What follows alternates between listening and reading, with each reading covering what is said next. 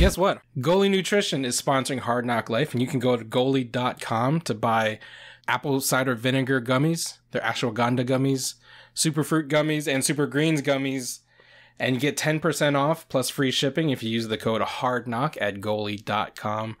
This is honestly, I've been taking the Goli gummies now for, for a couple weeks, and I have to say, they're tasty and they're good for you. Have you guys been enjoying the Goli gummies? I really like them. They're yummy, but it's a nice to add to my like routine of already like I normally take just straight vitamin C, so it's nice to have like extra supplements. For a long time, people have have praised the benefits of apple cider vinegar, and you know, as someone who's had to like drink straight apple cider vinegar sometimes when I'm not feeling well, or you know, I have a some joint pain, and your mom is like, drink some apple cider vinegar. It's mm. not the most appetizing home remedy. Let's just say. No, Right. It tastes horrible. It's like the apple cider part is like, ooh, does it taste like apple cider? And it's like, no, it tastes like vinegar.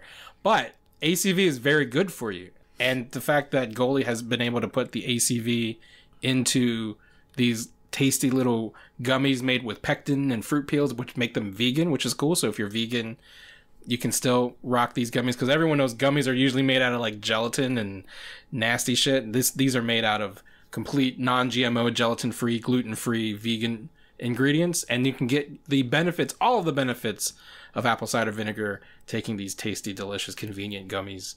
So go to goli.com and use the code HARDNOC. That's H A R D N O C, just like the podcast you're listening to. Get 10% off your purchase of Goli products and free shipping. It's a much better delivery device for that apple cider vinegar. Yeah. These, these Goli gummies are great. You get I it, and it's, it's a delicious little candy. And I, I've been enjoying the super fruits one. I did feel kind of refreshed after taking a few of those. Yeah, no, but I'm loving them so far, and they're definitely tasty. If you just want tasty gummies, at least just eat them for their the like the yumminess. Yeah. So go to goli.com, use the code HARDNOC, H A R D N O C, get 10% off your purchase and free shipping at goli.com with the code HARDNOC. I'm Lin Manuel Miranda, and you're listening to Hard NOC Life.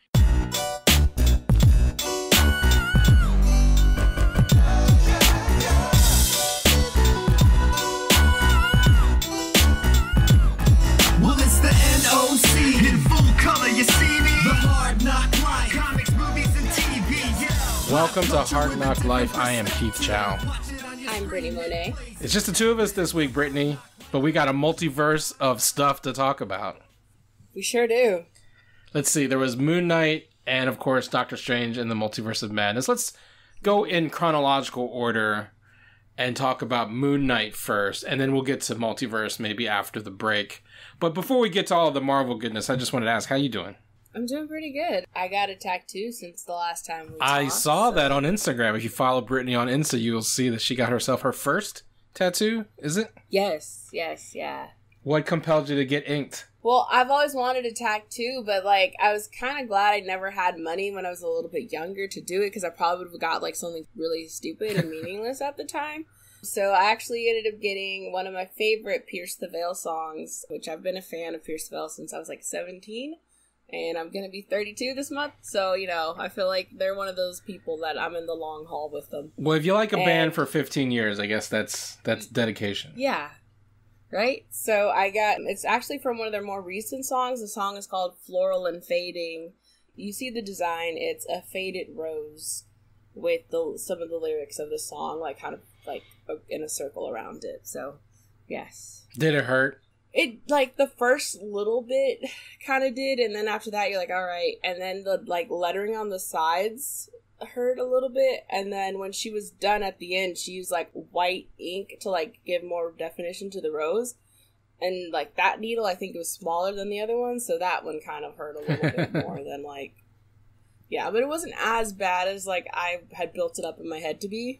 I mean, do you Yeah. kind of see like you know there are people once they get their first tattoo, it almost becomes an addiction, and you start like yeah adding to I- it and getting a sleeve and getting you know is that i'm already planning i want to get um anakin's lightsaber tattooed next nice? Yeah, I just don't know how big yet. So depending on how big, it'll either be like you know, super cheap or You know, you know what you Yeah. should do, right? You get just the hilt first on your forearm, and then come back and then get the blade, on the other arm. or or just like you know, just, just do the hilt first, and then just keep adding to the hilt so that until you have like the full blade. So you're like slowly igniting the lightsaber over like a number of years. Oh my gosh. and then get the red one on the other side. See, I was I was thinking of getting both Kylo Ren's and Anakin's lightsaber. Oh, okay. You should get Anakin's on one side and then Vader's on the other, so just to have the matching set. Oh, that's the other thing we got to talk about. We have our first full Obi Wan trailer. Yes, yes, yes. Oh my god, what a trailer that was. I mean, you you didn't see him, but but your boy Hayden Christensen's presence was definitely felt in in that trailer. Yes. Oh my god, I loved the trailer first of all, but yeah, I really loved the end of the trailer where you start seeing them putting together the suit, and then you hear the breathing, and oh it was done so well in you know Obi's face. Like it might not even be from that exact scene, Right. but like the way they put it together was very nice and. Yes, and I think Moses Ingram, I believe that's her name. I feel like she's gonna be really, really great as the Inquisitor that she's playing because she seems to kind of be the main Inquisitor Mhm. going after Obi. It looks like so. What did she say? You can't hide from him, or something like that, right? That that was a Yeah, pretty chilling like, line. You, she was like, "You can't escape him, Obi Wan." So like so I guess the premise of the show is that Vader knows Obi-Wan is out there and he's hunting him down specifically cuz it's personal. Yes, I, uh, this sounds like that's what's going on. But they've been going after Jedi in general Right. because not everyone, obviously. Yeah, I mean if anyone's followed Rebels, they that's where the Yes. Inquisitors first come from. Their whole mission is to track down every single Jedi who escaped Order 66 and hunt them down and kill them. They, you know, they go after of course Kanan and Ezra throughout the entire run of Star Wars Rebels. And this this show takes place like around the same time. Who knows? Maybe Yeah. we'll get a crossover with some of the Rebels characters. You never I'm know. hoping. I I love Freddie Prinze Jr., so I really do hope that we will get Kanan to show up. Do you think it'll be Freddie Prince? Do you think like they'll cast the voice actor? Ah, I don't know, just because uh, uh, like Freddie himself doesn't look like Right. Kanan. But you could do him up. You could do him up to look like him. Well, somewhat. I just feel like Kanan looks, I don't know, a little bit different Yeah. than what. But yeah, I don't know. I love Freddie Prinze Jr., so I hope they find a way to like do that. I, I think it's possible, like, because I mean, the the period is not quite the same. I'm not exactly sure what the exact you know BBY year it is, and which Mhm. season of Rebels, because Luke is definitely like, I don't know, ten years old or something in this. I think it's supposed to be ten years after Revenge of the Sith. So, do you remember how old Leia was when we saw her on Rebels? She seemed older than ten. She seemed older than 10, but then, like, I don't know if they messed up and, like, that was a continuity error on their part. Continuity errors in Star Wars? No way. Right? Because it's supposed to take place before. Because Rebels is supposed to take place also before New Hope. So, yeah. yeah, I'm not sure. Right, because Rebels also, I'm not exactly sure the the timeline of, of all the seasons of Rebels, because they definitely aged quite a lot throughout the series, because Ezra's a little Yes. kid in the beginning, and he's, you know, a young adult by the end. And of course, the, the very Uh-huh. last episode of Rebels flash forwards even further, because we see Sabine, and she's, you know, has shaved her head, and she's much, much older at the end of Rebels than she was even in the, you know, the last, the last scene in the present context of Rebels from the last, last scene, uh, when Yes. they when they go off to find Ezra, which is everyone assumes is the premise of the Ahsoka show. It, it you know that that most likely is, and I know that they are bringing the guy who actually voiced Thrawn to play Thrawn in the show. Oh, is that right? Yes, I can't remember the actor's name, but that's at least the rumor going around. I'm so mad that they didn't bring back Tiya Sircar to play Sabine because Yeah, she's. I think. I mean, she may be a little older, of course, than than what Sabine is, but the Sabine that would be in live action is a much older Sabine, and I feel like the the Mhm. girl who they did cast, al- allegedly cast, the Natalie Yeah. Liu Bordizzo, seems a little too young to be that Sabine. And she's also the wrong skin tone and the wrong Asian, so there's Yes. there's that too. I did like her in the second Crouching Tiger movie that is on Netflix, by the way. If you guys Mm. haven't seen it, I liked it, but all right. I liked it, and she's in it, and like her and Harry Shum kind of have like a romance thing. Yeah, but she's no Sabine. Like Sabine is such an iconic Yeah. Star Wars character.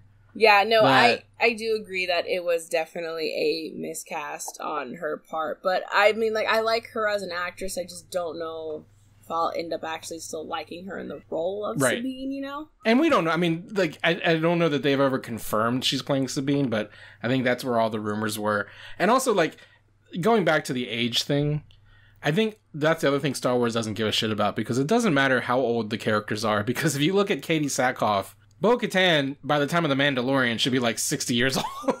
Yeah, but like Katee is actually doesn't age. Well, uh, there's Bad, so that's the thing, right? Like, so I, I just I just don't know that like the accuracy of actors' age matters because again, if you look at Ewan and Alec Guinness and all that stuff, right? Like people age weird in Star Wars is all I'm saying. so you could you could I- figure out a way to bring Tiya Sircar to play True. Sabine in in the live action. I'll just say, you know, the stress of what's gonna happen on this show is gonna just age him. Yeah. He's gonna like, but also I just feel like I don't know if you're gonna be living in a like a planet where there's not a lot of water and it's very hot. Well, that's the feel like one thing I kind of picked up from this trailer too. Is that I don't know how much of it is actually going to take place on Tatooine. Like it almost Yeah. feels like Tatooine is where he ends up, but he's on the Mhm. run for most of it. So because there's a lot of like cityscapes and a lot of like different alien Yeah. planets. So I think he just maybe like hops in and out of Tatooine to check on Luke, but like honestly is mostly in other parts Mhm. of the galaxy. I think Yeah. I don't know. I, I'm do- totally intrigued by it because Me too. I'm really looking forward to everything the show has to offer. I'm still mad that they moved it from my birthday to the 27th, but you know, Well, because everyone said like the 25th made sense. It was the 45th anniversary of Star Wars, right? Like that would be the perfect time to drop Obi Wan. But they made it up to you by bringing two out, which which also reduces the time because if they're putting out two on the first week, yeah, that means there's only three four- weeks left. Yeah, or, no, four. Yeah, four weeks left. Yeah, yeah, yeah. But oh well. I don't know if they're trying to reduce it overlapping with you know Miss Marvel too much because Yeah. Miss Marvel starts June 8th. So we're still gonna be at some overlap, right? Because you're starting at the there's like a week a week later. It's it's the but I think and that's like they're doing Marvel Wednesday, Star Wars Friday. It looks like too, right? Yeah, so it's like a week and a half or maybe two weeks in between the release of Kenobi and if I'm looking at the calendar right. Yeah. Right, right. It's like about two weeks, I think. Yeah. So episode four and episode one, episode four of Obi Wan and episode one of Ms. Marvel will be the same week essentially. Yeah.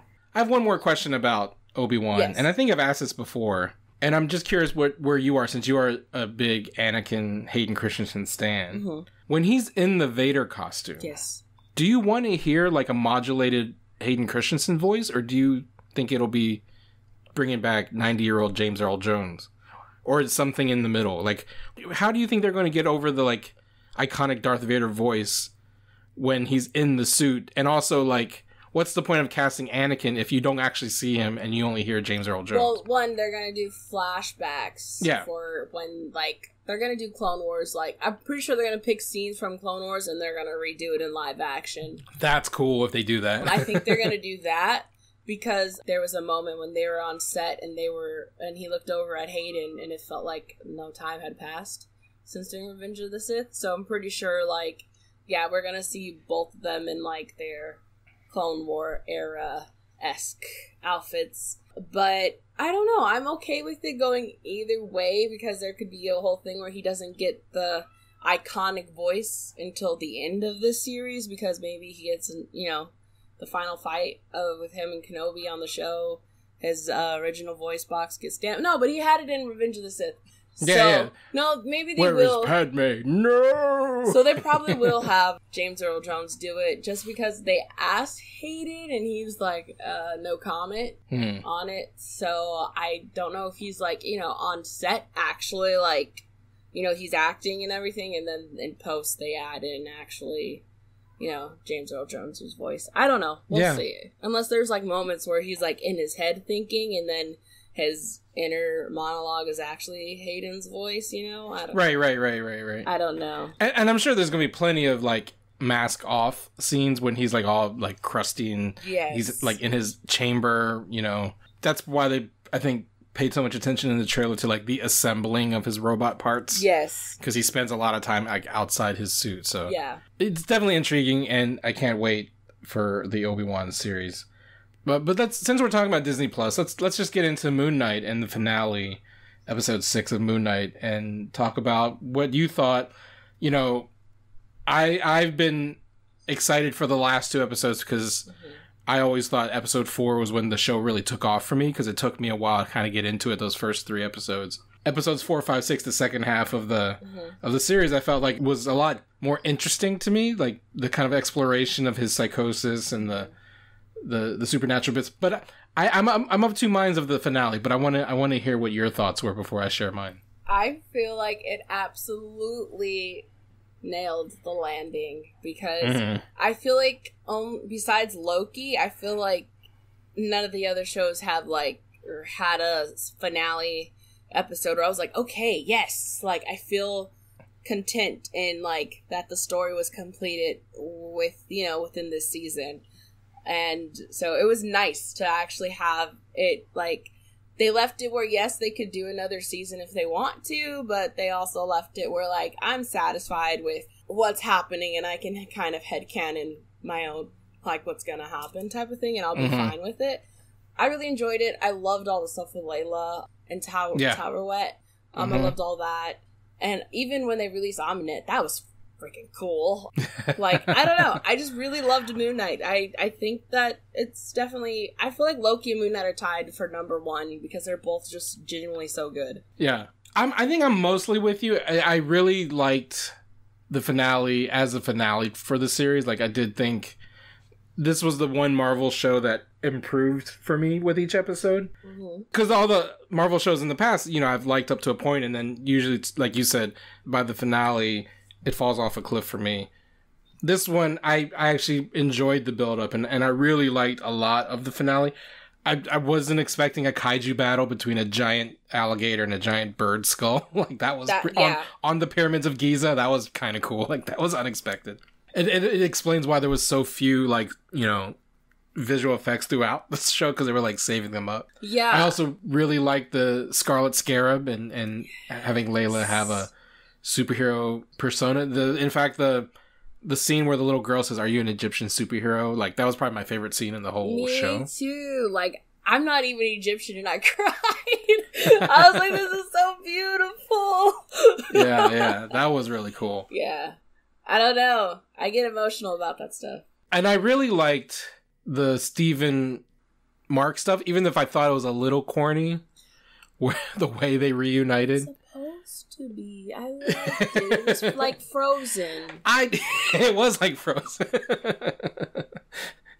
but I, but it was just like I'm trying to I'm still just trying to figure out like and this is you know nerd brain taking over like what are the logistics what's the logic of the afterworld in the MCU you know what I mean like I just how does it work like he just turned around and then he was already like I don't know maybe I'm thinking too much about like he, he made he made the tri- journey all the way to the field of reeds but when he decided Well, he didn't want to he just turned yeah. around and Steven was there and there was a giant gate there that sent them back to their real like that was just a little kind of like you know Deus Ex Machina kind of stuff. Ironically, since Oscar Isaac was famously in Ex Machina, and I'm not sure I understand how it works, but again, that's at the end of the day, that's just like nitpicking. like just the afterlife like the of reeds or just like a general like what are the after well, what are the rules? Because if you just like tell Taweret, you know what, I don't want to die, and she goes, okay, you can go back to your living body now. Like, well i feel like obviously there was an exception with mark because he was technically sort of somewhat a superhero kinda mm, I i, guess. don't know i feel like that's probably what it was was like or maybe Taweret is more reasonable than other gods and she's like well i mean she could go back but your body's been shot so i don't know what, what's right, right, right. like I, That's that's, that's, Yeah, that's- that, that just kind of like it was almost like they painted themselves into a corner because I was very curious at the end of episode five because like yes we all Mhm. knew Mark was going to come back that Moon Knight would show up because for one reason there's a whole bunch of scenes in the trailer that they haven't shown yet so Moon Knight has to come back at some point Mhm. but so I was curious how are they going to like write themselves out of like well he's in the afterlife he made it to the field of reeds like it's like once you've gone there you, you you can't turn back you can't come back to life but he does and he just does it by saying I want to and that's the only thing that kind of like took me out. I think she said she had said in episode five that they have to get to Osiris. Uh, Osiris's gate I think is where they were yeah, they have to get th- there in order to be able to re-enter life. But again, she's like, if you don't have power of Khonshu, you're like pretty much gonna come back here. Is what she was saying. So Yeah. I don't know. Maybe it's a, a moment of like I don't want to. I don't want to be here in the field of reeds. It's kind of like you rejecting it, so then they automatically just throw you to the duat. Yeah, word. but see, and because she did say like if you reject the field of reeds, you can never come back. So like implying that once he dies for real, he's going to just essentially go straight to hell, right? He there's no chance of eternal paradise for him, which is is the sacrifice he accepts. Which like thematically, yes, I understand. It's just again the logic of how mm. does he go back though? And the other thing that you know, and we'll talk about the end credit scene. But then that kind of throws into whack the whole idea of like his soul is balanced once he and Steven accept who they are. Because mhm. his soul isn't balanced. Like it's split in three, we learn at the end of the episode. So like the fact that he he and Steven reconcile should not have turned his heart white, right? Like there's still like a broken piece that they're both unaware of, but it doesn't mean that like the gods don't aren't aware of that this third personality exists, this third soul exists, right? I love the twist at the end when we realized Jake was who Khonshu had been manipulating all along, but at the same time, it, it made me rethink the whole. That's why I was like the Steven Mark stuff, where it kind of took away from that for me because I was like, well, then how did they reconcile their heart if there was like a third guy all this time that they didn't know about? That they should have at least had a clue. Like Tara should have been like, oh, you're still not quite whole. You know what I mean? So I don't know. That's again nitpicking, but that was yeah, that was a little bit of a issue I had. I get it, but I feel like also they were trying. I think it's more of they wanted to keep the element Right. of surprise for people who don't know that there's a third personality. That like there's a third personality. Like I think that's the whole like point. Like even someone had asked, "Hey, in this this moment, is that Jake Lockley?" And Mohammed was like, "No." Yeah, He straight up said no, even though everyone's like, I don't think he's lying. Like, yeah, he's lying. He's not gonna spoil it for you. Like, you know, like, I feel like by now most people who follow the MCU or like should know when people are like, no, this is not what's happening. Is a good time that they're lying. I mean Andrew Garfield spent an entire year bullshitting everybody, so that's if that. yes, but like people forget that even Benedict Cumberbatch was like when they were asking him, "Are you playing Doctor Strange?" He was like, "What? Who is that?" Like, I'm not. He's like, "No, I'm not playing Doctor Strange." What kind of question? Like, he was also being like, "No." And then people are like, Ugh, I don't believe him. I'm like, well, yeah, he's lying because you signed an NDA where he can't say that he is or he'll get in trouble. Like, I I don't I don't understand what people like at this point don't get about that they can't Right, right, right, right. I, mean, I don't even understand why you even ask them like questions like that. Like when you're doing a press tour and you're interviewing a celebrity and you know he's in something. Like, do you really think they're going? You know, unless it's Tom Holland who famously lets shit Yeah. slip, or Mark Ruffalo. I get asking them because they're they they just don't give a shit and they'll they'll spoil whatever. But you know, most folks are are more tight lipped, and I don't. I just it's such a waste of time because you know you're just gonna get the same stammering answer. Yeah, it's so yeah, it's pointless. And then it's also like, are you really like? I don't know. Do do you get in trouble for asking the question if they accidentally say yes? like, do you also get in trouble for them breaking their? I don't think so. I mean, that's how that's, does that that's on them, man. That's on them for, for for screwing up. Any other aspects of the Moon Knight finale you wanted to touch on before we move on to the next thing? No, I just I really liked everything. I kind of hope that I don't know we get more Moon Knight though, just because I really enjoyed it. Even though I feel like, like I said, yes, it ended where I would be okay without another season. I kind of hope we get more because I really enjoyed all the Egyptian gods and stuff. It was very fun for me. Yeah, I mean, the, the the one thing that I did appreciate, and I said this all along, is that it felt complete. Like it felt like a complete story. It felt completely separate from the rest of the MCU in a good way. Like you didn't have to like, which is something I think I'm gonna dig into when we get to Doctor Strange. But like you didn't need any homework to like enjoy it, and it didn't feel like it necessarily sets up anything that Yeah. if I didn't watch Moon Knight, I'm going to be lost when I watch the next Marvel thing. Because I read somewhere that the director Mohammed Diab mentioned there was an original idea to include a reference to the Eternals. I think there was even a scene Which that they were planning. I'm kind of glad they did it. Not not because I don't like the Eternals, but because it, it was very nice to have a story like you're saying Right. was not connected. And that's ultimately the reason they were like, you know what? We just want this to be our. We don't have to. We don't want to feel like we're kind of like Beholden. painting by numbers and doing the thing because that's what everyone expects from a Marvel thing, right? Like waiting, and that's like I think probably the one complaint about the show from people who didn't like it is that it felt too disconnected because they wanted more crossover or whatever. But I that's the thing I appreciated the most is that it felt the most like you could take this and, and run with it. Like Moon Knight can still show up somewhere, but it doesn't. It doesn't. You don't have to watch this to fill in a piece of a puzzle for something else. Yes, I do hope that uh, as a whole, Marvel kind of realizes that, you know, it's such a vast universe that you can tell the stories without having to have tons of like crossovers and Right. like yes i understand worrying about where like the next phase is going but also like oh like i think it's okay to allow more like freedom just to tell this a certain story because then it's like i feel like moon knight and loki have been probably some of the best stuff that marvel has done in a long time because both story even though like loki is more connected to the grander scheme of the mcu it was still like a more concise and like tight knit storytelling just like Moon Knight in a Mhm. way. Like they're both very concise and get to like they tell their story well, and it's great. And I hope that they have more like freedom with their.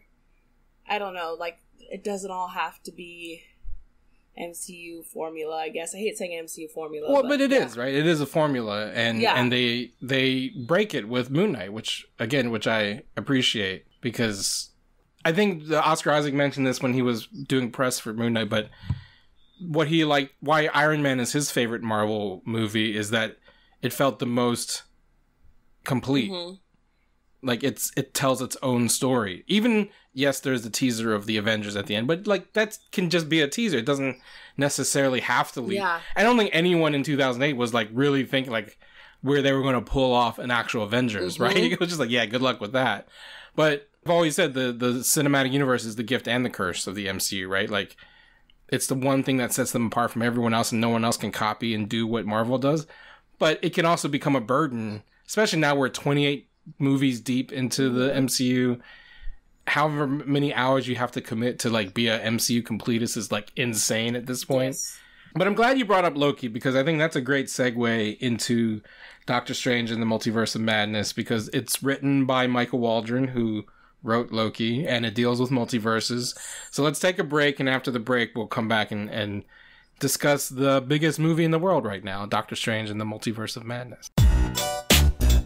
Hard NOC Life is being sponsored by Athletic Greens. I want to talk to you about Athletic Greens. With one delicious scoop of AG1, you're absorbing 75 high quality vitamins, minerals, whole food source superfoods, probiotics, and adaptogens to help you start your day right. This special blend of ingredients supports your gut health, your nervous system, your immune system, your energy, recovery, focus, and aging. Basically, all the things. One of the best things about Athletic Greens is that it's lifestyle friendly, whether you eat keto, paleo, vegan, dairy free, or gluten free. It also contains less than one gram of sugar and no GMOs, no nasty chemicals or artificial anything, and it still tastes good. Athletic Greens uses the best of the best products based on the latest science with constant product iterations and third party testing. Right now, it's time to reclaim your health and arm your immune system with convenient daily nutrition. It's just one scoop in a cup of water every day, that's it. No need for a million different pills or supplements to look out for your health. And to make it easy, Athletic Greens is partnering with Hard NOC Media to give you a free one year supply of immune supporting vitamin D and five free travel packs with your first purchase. All you have to do is visit athleticgreens.com slash emerging. That's athleticgreens.com slash emerging to take ownership over your health and pick up the ultimate daily nutritional insurance. So we have this entire multiverse of stories to pull from. The promise of Loki is that like there are all kinds of universes out there in the world. One where Loki's an alligator, Yes. right? Which I, now now I'm thinking of it, it's like oh, that there was an Ammit crossover that could have happened. But anyway, now knowing all, in you know Michael Waldron who wrote Loki also wrote Doctor Strange in the Multiverse of Madness. I just what what is your impression of the movie that that you saw this weekend? I like I, I absolutely loved it. I think it's my favorite out of like the recent ones that I've seen in the last like year and a half. Mm-hmm. I wasn't expecting to like it so much because I was very worried. I mean, not that I don't like Sam Raimi. It's just I was like really Mhm. worried that it would probably lose whatever vision you know Scott Derrickson had for it, which I'm sure it did. But I mean, he was left for worried. creative differences, which is you know never Yes. a good sign with a Marvel movie. yeah, so I was very worried that this wouldn't be good. Even though I know they said like Michael's writing it, I was still like, I, I don't know. but I ended up really loving it. I loved and oh my god, the score. Danny Elfman, he did his thing. it was just there's a particular scene that we'll probably maybe talk about later, but like with Danny Elfman's score, that I was just like, this is just this is cinema. like we ta- wait, is it, is it the the musical notes fight? yes, like I loved that, like the whole music in it. I'm like, I really love this, and this is great. And for some reason, I forgot Danny Elfman was doing the music Mhm. until like you know I saw the credits. But and then when they got to that fight, I was just like, oh, this is just, I love this. it's so weird, but so great. yes, and it's very weird and wacky, and probably like I feel like some people aren't maybe used to the style that Raimi actually has because if you've only seen the Spider-Man movies, I feel like that's not enough to be like, right. yeah, I know Sam Raimi's like vibe. Yeah, oh, and this was very much pulled on his like Evil Dead oeuvre more than his Spider-Man oeuvre, which is ironic since he's doing a Marvel movie. I know, which I, I've seen like some of the Evil Dead stuff with the show because my little brother watched it, the one that Stars mm-hmm. did.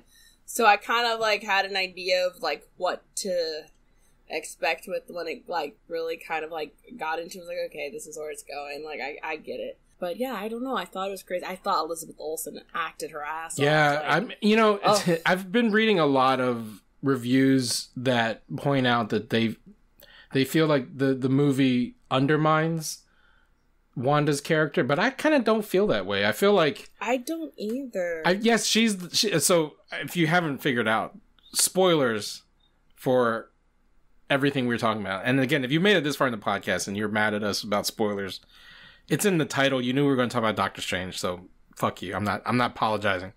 I, I don't mean that. Please give us a five star rating. if if uh, we want to get into it, like Wanda is the bad guy. Like full stop. It's not even like a question Mhm. you know, you meet her for two minutes and you think she's going to help them out. And then two minutes into her introduction in the movie, she's like, oh, no, no, no, I'm the big bad. So let's get that out the way.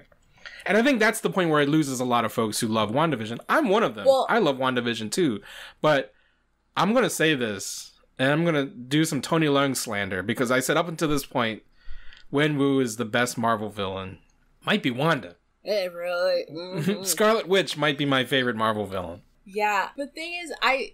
So in the trailer, the first trailer was the only one I had saw. Right. yeah, because I spoiled some things for you last week. yes, you did.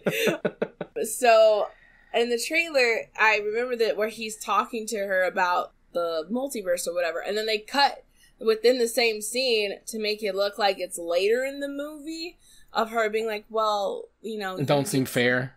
the don't seem fair line. I was like, that Yeah. looks exactly like. I was like, it looks like a weird burnt version of like the like nice, pretty like. Whatever. And also, like, Strange is wearing the same outfit.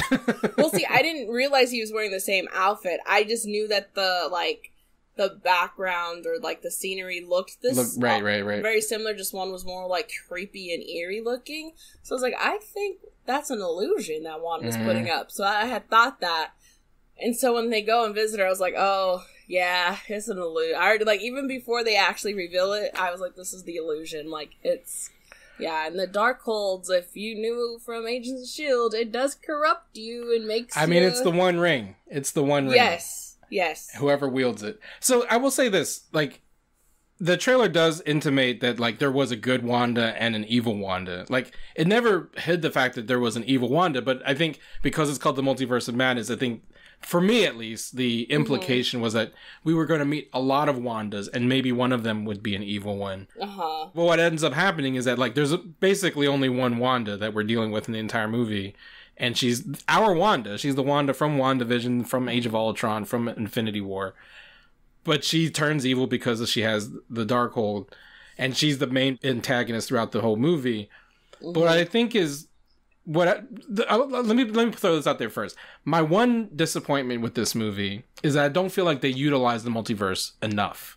And like the promise of this movie is like, especially after No Way Home, after Loki, this idea like we're going to explore the multiverse. They were only really in two different universes the entire movie, right? Yeah. And, and it's not really a multiverse. Like he could have encountered a whole bunch of different Doctor Stranges. He could have encountered a whole bunch of different versions of the Illuminati, right? Like to me, like the fact that the Illuminati was essentially just the Avengers of that Earth was a little disappointing. You know, it's like they could have done a lot more with the idea and concept of multiverse. And that's the one thing that I was a little disappointed with the movie that we didn't really explore like all the different alternate versions of Doctor Strange, all the different alternate versions of Wanda, and really just kind of focus on essentially our universe interacting with this one other universe. You know what I'm saying? I I get it, but I do also feel like you know I was hoping that the main thing was they were gonna be able to tell a great story Yeah. without relying on too many cameos and stuff. Which Yeah, yeah, I feel like they did that, and that to me was more important because, like, I saw someone's review. They're like, "Well, if you wanted a film that's more focused on Wanda and Doctor Strange and Wong and America." Then you'll really like this movie, but if you're expecting a tons of cameos, you're not gonna like this movie. And I'm just like, I mean, I mean, let me set the. It's not the. It wasn't the cameo thing. Like, I don't. I, I thought the cameos were actually well executed, and I was Uh-huh. glad that they didn't focus so much of the movie on those cameos. Like the way Mm-hmm. they're dispatched with is kind of was my like my other favorite part of the movie was just how you know you meet them and then they're gone, and they're like gone, gone for real, for real. But well, I guess what I'm saying is that like like this idea of the different Wandas, right? Like we really Mm-hmm. only are dealing with one Wanda, well, we do technically have two Wandas when you really like because of right? how she right. ends up using the what's it called? What they call the day walking, Dream walking. dream yeah, yeah, yeah. walking, the dream walking stuff. Like she ends up like, which was really that whole entire scene of her like going after them was really done well. Right, right, Um, right. And yeah, it's just she's she's inhabiting or possessing the body of the Wanda that lives in that. And that's the other thing that was again, I'm gonna get a little nitpicky. Mm-hmm. Like we just happened to go to the one u- like the one universe that Wanda has Billy and Tommy. No, she said actually when she gets mad, she's like, because Doctor Strange's like, well, I'm sure there's other Wandas that don't have Billy and Tommy. She's like, no, every other Wanda has their No, Billy but, but I guess what I'm saying is that like, but they just happen to like. I, I guess I would have th- thought it would be cooler if she goes to like a different universe to be with Billy and Tommy, but she Mm-hmm. she possesses this Wanda to. I don't know, just a little too neat to me. Like the Mm-hmm. that the Illuminati and the Wanda and the kids all just happen to live in the same universe. You know what I mean? Like it's the multiverse of madness. Maybe you know Mordo's from this universe and Billy and Tommy are from that universe and Wanda. You know what I'm saying? Like I kind of wanted a little bit just more like what what if did basically like the finale of what if how they brought all the different heroes together from different universes that's what i thought they would do and it was just kind of like it seemed a little bit too neat that everyone just happened to be in this one earth you know I, what i'm saying I get it, but I feel like maybe they thought that What If would be the one show that not everyone would actually right right right right right So I feel like that I feel like part of it in mind was like, okay, probably not everyone is watching all these shows. So Yeah.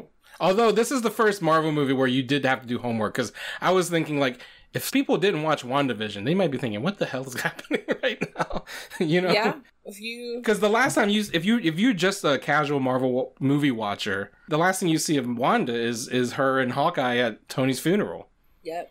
Like, why is she this crazy witch lady who wants imaginary children? But you know that could also be like a bigger like oh wow maybe I should watch the you know because Right, there's some right, people right, who may have Disney Plus but aren't watching the Marvel shows even though they like Marvel like "Ah, I don't need or people who dipped out after episode one because they're like, what the fuck is this black and white shit?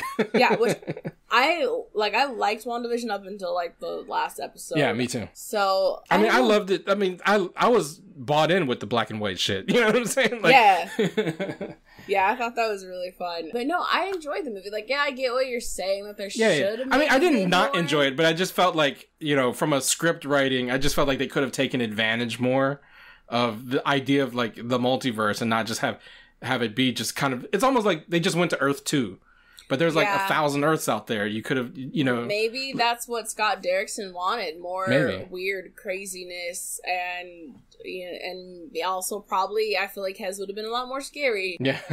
well, this was plenty damn scary. Like speaking of like why Wanda's so badass, like My other favorite scene is is when she's invading Kamar-Taj Yeah. and she does like the ring girl coming out the window. You know what I mean? Oh yeah, that was done really like the way she was like coming through. I was like, oh shit.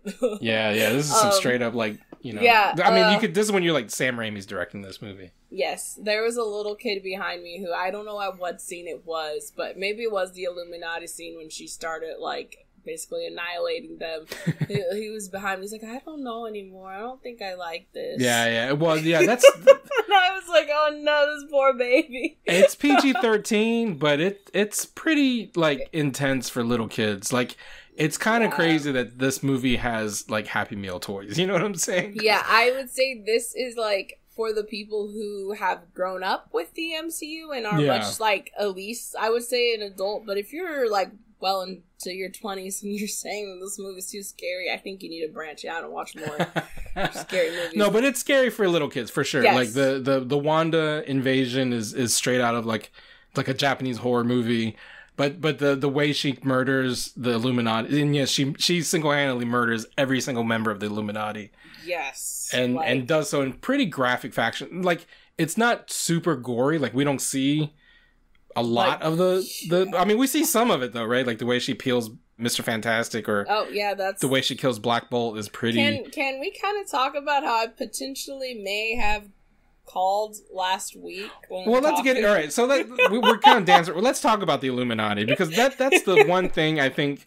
You know, you were talking about cameos, and and I think you know there there's a definitely a certain type of fan that gives more of a shit about like Easter eggs and cameos and actual story. I'm not saying that was my complaint, but I get why you know that that exists. But so they they've been teasing the Illuminati from the first trailer when you hear Patrick Stewart's voice, and you're like, holy shit. Professor X is in this movie. Mhm. And there's all there was all this speculation. Who are the other members of the Illuminati? Like we all knew X was the one member, but who else would it be? I spoiled for you that Captain Carter was in the movie, Yes.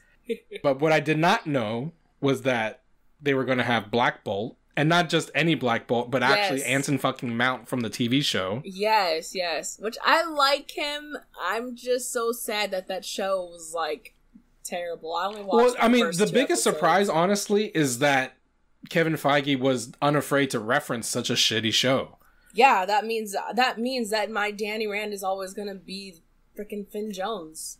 Yeah, That hurts my heart. you know, I was part of me, a tiny, tiny part of me, kind of wished Danny Rand was on the Illuminati just so that he could get murked too.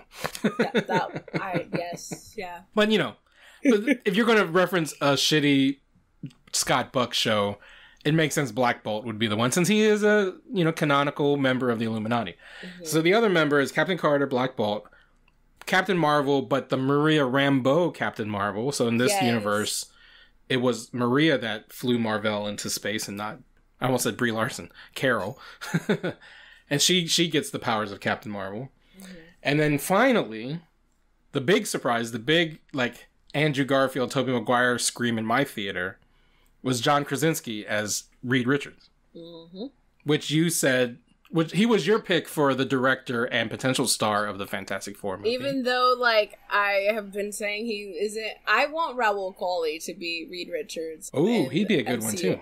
Uh, that's what I've been tweeting. So if you follow me on Twitter, you know that like Rahul Kohli has been my pick for Reed Richards for a very long time. You should just keep keep him British too.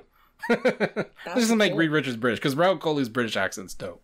I love Rahul Kohli. Oh my gosh! And it's not that I don't like John Krasinski because he's literally like my favorite from The Office, and I really did like at least the first Quiet Place movie. And but as soon as they announced that John Watts was no longer directing Fantastic Four, um, I was like, oh man, it's probably going to be John Krasinski because everyone's been wanting him to be Reed Richards. He's going to be directing it and he's going to be starring in it as well. Um, and then obviously, as soon as they showed John, I, I like, I kind of sighed because I was like, oh, damn it. like, I called it. But I, I, yeah. So, I mean, who knows? He might just be Reed Richards just for Multiverse of Madness, and he's actually not. that goes back to my point about like I wish they utilized the multiverse more because I think the promise of the multiverse is that you can have anyone, right? That Mhm. The same actor doesn't have to play the same character because we've seen in No Way Home Peter Parker looks completely different in three different universes, right? Yeah. And I almost wish they kind of took advantage of that in this movie and had like whenever Cumberbatch met another Doctor Strange, that they would cast someone who was almost Doctor Strange. Like, imagine if the evil Doctor Strange was Keanu Reeves. That's what I was think that would have been so dope if like Keanu Reeves showed up because he was like a fan cast for like 30 years for Doctor Strange, right? Yes. and have him be an alternate Doctor, or have your boy Ethan Hawke. I was gonna say that. you know what I'm saying? Like all the almost Doctor Stranges showing up as versions of Doctor Strange would have been so dope, and and would have given more like credence to the idea that Mister Fantastic doesn't have to be John Krasinski when the Fantastic Four movie comes out. But the way they did like doppelgangers, it was more Flash version where doppelgangers look exactly like their doppelgangers, Mhm. and you had Captain Carter looks like Hayley Atwell. Professor X. It's not the Fox movie Professor X, clearly. No, but it's, it's I a think version it's of- like it's a I mean, it's that universe. It's the 838's Professor X, right? Like, Yeah. it's not even the animated one. It's the 838 Professor X. But he looks like Patrick Stewart, you Mhm. know? But he has the yellow chair. Maria Rambeau looks like Maria Ram. Like, it could have just been a good opportunity to catch. Like, when the rumor was it was Tom Cruise as Iron Man, as much as I didn't, was was not looking forward to that, it makes sense that you, this is an opportunity to do something like that. But I felt like they kind of whiffed by casting, like, people we already knew as these characters. It kind of Well- it kind of still ties you to potentially a John Krasinski, Mister Yeah. Fantastic, instead of a William Jackson Harper or Rahul Kohli as Mister Fantastic, which I still think they can still do, but you're a little bit more kind of tied into like actors you've already cast. Yeah, I wasn't surprised about Maria because when we first saw the trailer, I was like, "Is that Maria?"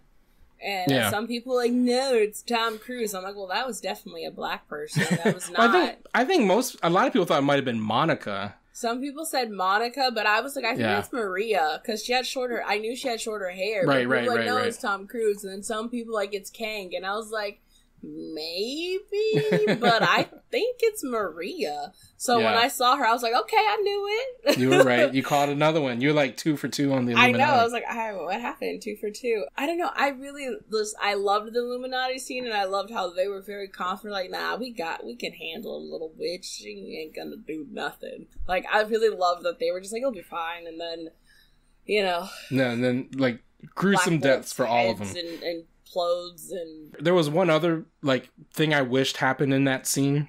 mhm. and it's when Professor X goes into Wanda's mind, and he's Uh-huh. trying to rescue the the good Wanda, the Wanda who's being possessed. yeah. And that was another scary jump scare where you see Wanda come out and snap his neck. oh yeah.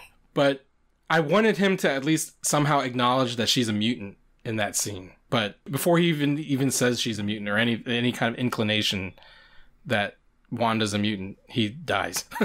but that would have been a cool nod to like have you know Xavier reference her mutantness in that scene. hmm But any other thoughts? How about Wong, my boy Wong, and, and America Chavez? Like these are two characters who have very prominent parts in the movie that we didn't touch on. I really, I just every time I, I see Wong or you know Benedict Wong, he's just so good. I love him, and then it makes me mad that Marco Polo never got another season. yeah, but no, he's so good, and I just love that he's the Sorcerer Supreme, and I kind of hope he stays the Sorcerer Supreme. I mean they make it seem like he's the guy. He's gonna like. There's no reason for for him to not be the Sorcerer Supreme. yeah, and Give I me a love, Wong movie. I, or even just like a Disney Plus series, whatever. Give it to us. But yeah, I don't know. I loved the whole like he's like it's customary tradition about the like bowing thing. Yeah, no, he was great. But he, yeah, he's you don't see him as much just because. But Wanda actually ends up kidnapping him. Yeah, yeah. yeah, we don't see him too too much in America. I really loved her and um, Steven's like friendship that develops throughout the film. I it is kind of sad that like I feel like they changed a little bit of her actual heritage from the comics because she's Puerto Rican in the comics, and I think in this she's Mexican. hmm The actress is Mexican too. Yes, so like it is kind of like, but you know, I understand there's not a lot of Latin representation. Well, and, but I think the other complaint about America Chavez is she's Afro Latina in the yes, she is comics. Yeah, but I really do like Jolty. She was really great on the first season of Babysitters Club, but the show's not the same without her. That's probably why it got canceled. Well, that was another, and you have been saying this for some time because you know a lot of people ship Kate Bishop with America Chavez in the comics, but you were saying that the actress they cast is much younger than yeah, Hailee Steinfeld, and she, she's clearly like a like a very young teenager. I think they said she was 12 or 13 when she was cast and she was 14 when she filmed the movie. yeah, so she's very young because in Babysitters Club, they're well, like on the first season, I want to say they were like twelve or thirteen.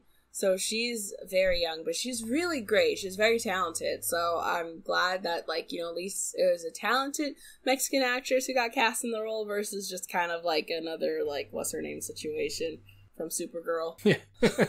Italian actress to play uh, America Chavez. Yeah, we that could have had just- that. That that would have been chaos. But no, she was really good, and you just, oh my god, you want to protect her, and you're like, no, Wanda, leave this baby alone. I like I don't know that she needs to be a sorcerer though. It was a little weird that like Mm-hmm. she's got a power. Why are you trying to give her another one? you know what I mean? She essentially has Cisco's powers from the Flash, by the way. Uh, I don't know. Maybe it's to help her actually being able to focus more on her own. One um, another thing I just want to touch on real quick. Like in the original release schedule, this movie was supposed to come out before No Way Home, and got the the order got flipped around. So I think that's also why some of the events of Spider-Man don't really resonate in this because it was supposed to be the other way around. They I think one of the reshoots is the scene in the pizza parlor where they're telling her about Spider-Man mm-hmm. because in the original release schedule, Multiverse of Madness came out first and then No Way Home.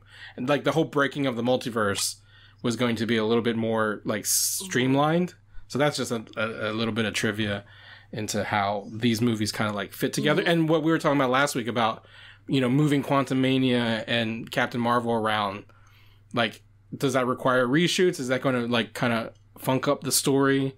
Because, you know, already the COVID delays have added all of these barriers. So that's just something to think about. And again, goes back to the whole gift and curse of a cinematic universe because you have Yeah. to keep all these plates spinning. And sometimes, you know, for pandemic reasons, you can't, you know? Yeah, and I don't know. I still feel like Quantumanium got moved just because they didn't want it to get buried between any of the other movies that were coming out around then. But I don't know. But I feel like Quantumanium also might be more in line with like, you know, the storylines of WandaVision and and Doctor Strange and Right, because it's got time travel and, and alternate universes and, and stuff. So as well because Kang is going to be in it. So Yeah. So there's it, it does make sense for that to come out a little bit sooner. Last thing I want to get to before we wrap up is the end credit scene, or at least the mid credit scene, because the end credit scene was just a little throwaway Bruce Campbell joke. And shout out to Bruce Campbell. It wouldn't be a Sam Raimi movie without a Bruce Campbell. yeah, they cameo. asked him if he was in it, and he was like, "I shot stuff for it, but I don't know if it's going to be in the movie." Like, Oh, it's Sam Raimi. You can't make a Sam Raimi movie yeah, without he- Bruce Campbell. It's, yeah, it's I knew law. that he was still going to be in it, but yeah, Did you know who Charlize Theron was supposed to be? yes. You knew right away. Oh, see, because you read comics. I c- apparently don't read comics. So So, when she shows up, I was like, "Who the f is this supposed to?" I knew it's Charlize Theron, but who is this purple lady supposed to be? She's in. I can't remember exactly what female team up comic I read, but she's in it for a little bit, and then she's also in one of the Angela, who they end up rebranding Angela as like Thor's half sister, who's from a planet called Heaven. so that she shows up in both of those. So she's playing Clea. Mhm. who ends up being Doctor Strange's wife sometimes in Mhm. some of the comics. But she's actually, if I remember correctly, she's like somehow Dormammu's or some other type of demon's daughter. He's she's Dormammu's niece. So I did some wikiing after the movie because I was like, "Who the fuck this purple lady supposed to be?" So Yeah. apparently in the comics, she's Dormammu's niece from the Dark Dimension. And yes, she she and Strange have a romantic relationship in the comics. I think she even takes over the Sorcerer Supreme at some point in the comics. I had no idea. I just recognized Charlize Theron, and that's the thing. Again, going back to like casual fans, like Uh huh. and I don't even consider myself a casual fan. Like I'm, I'm pretty. I mean, I fucking run a nerd empire with the nerds of color, right? and it took. I like I said, I had to go like go to Wikipedia, like who this supposed to be.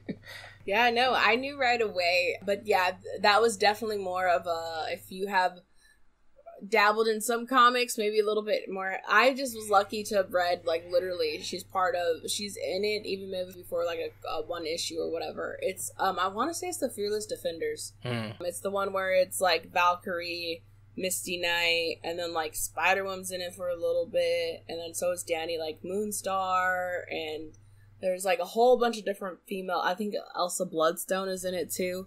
Like there's just a whole bunch of random Marvel ladies that are in this comic where it's basically Valkyrie, needs to set up her own Valkyrior because some uh, the Enchantress, I believe, has brought back all of her dead Valkyrior to like try to take over something, and I don't know. It, it's been a minute since I read it, but it's a really cool and fun like comic series, which I would love to see that happen in live action someday. Does she look like her? Like, is that how you knew right away that that was Clea? Yeah, she's she's purple and she has purple and like icy white hair. Oh, okay.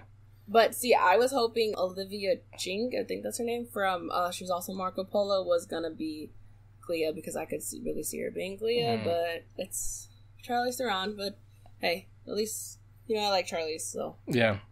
Yeah, so that was that's Doctor Strange. I mean, again, I, I enjoyed it a lot, and I've read a lot of the criticisms. And I, I don't disagree, uh, but I do think I, you know, the main criticism I think so far is that it undermines Wanda's character. But Wanda as a villain is very compelling, and for what it's worth, like Wanda started off in the MCU as a villain, so if anything, she's just come full circle. yeah, and I mean she kind of has been a, a villain a lot in the comics, or at least uh, you know the antagonist a lot. Mm. So I don't feel like it undermines her character. And she can come back. Like we don't know that she died. Like my daughter who watched it with me made a good point. Like you don't see her body when the when the building collapses, so it Yeah, doesn't mean she's even- dead. And and even- clearly the afterlife don't mean nothing because like you can just come back if you want. Yeah, and I just feel like with like anything that is in the realm of like supernatural and magic comic book characters, like just because you see the body too doesn't mean they're officially dead either because again, there's always some weird way to bring someone back when it's in the supernatural superhero world of things. Like they can make it happen. yeah, So, like, you know, supernatural, they would bring someone back. Like, if they brought a demon back, they sometimes would just change the actor playing them, but it's because that demon, quote unquote, possessed a new body. right, right, right. And again, and that's the the promise of the multiverse is that you don't have to bring back the same actors. It's kind of what they did with What If when they went back and showed Don Cheadle in the Iron Man one timeline. So Mhm. that's what you know. Any kind of casting changes is no longer a problem in the MCU. And Yeah. that's that's kind of cool because then it extends like because the difference between the comics and live action is that live action people age and they grow out of roles and they you know get Mhm. tired and they don't or they want to get paid too much or whatever it is. Comic books you're just drawing them so it doesn't matter. Mhm. This is a good way to be able to recast without having to you know quote unquote break the story or break the narrative. So anyway, that's Doctor Strange. Well, before we wrap, I did want to give a shout out to the passing of George Perez. He was dealing with pancreatic cancer for, for a while now, and he finally succumbed to it on Friday. George Perez is one of the most iconic comic book artists working. Last week we, we did a lament for Neal Adams, who was another giant in the industry. So we're losing our comic book giants. Uh, George Perez, if you don't know, drew Teen Titans, The Avengers. He he rebooted Wonder Woman in the 80s. He's one of the most influential and important comic book artists of all time. Rest in peace, George Perez. That is Hard NOC Life. For this week, Britney Monet, how can people find you on the internet? You can find me at Hi Britney Monet, and um, you can also check out at Naomi Podcast for the Naomi Podcast, the backlog of the Black Lightning Podcast, as well as the Lituation Room. I know it's a lot, but it's all on one feed. So You can find me on Twitter at the real Chow, the underscore real underscore Chow, and at real Keith Chow on Instagram. Follow the Nerds of Color at the Nerds of Color, and go to hardknockmedia.com to find this and all of the podcasts in the Hard NOC family.